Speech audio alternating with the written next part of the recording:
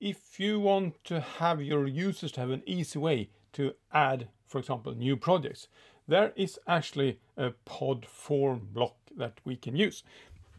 So you can add it to a page, for example. So let's create a new page here, new project, and then maybe we should have some kind of fill in the form to create a new project.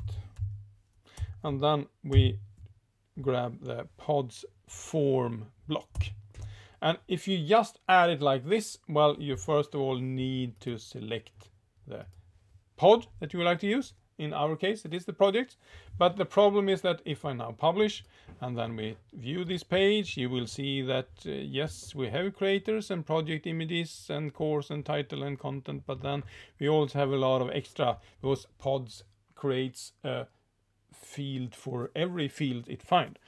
Um, and that we probably don't want. We don't want the permalink or the menu order and so on and so forth.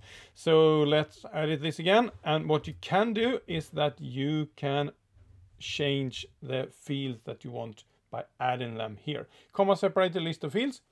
Uh, default is to show all, as you can see. So I have this saved here. Um, so let's add the title of the course, the creators, the content, and the post thumbnail. Um, and if I now update again, you will see that when we view the page, well, then we have all these fields, but we don't have the post thumbnail.